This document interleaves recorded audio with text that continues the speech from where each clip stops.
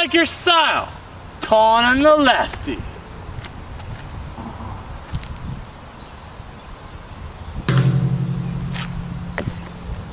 Oh, I always thought I was ambidextrous. If you want to check out my dark horse throw, click right here. Or maybe you're a fan of the chicken wing. Check right here.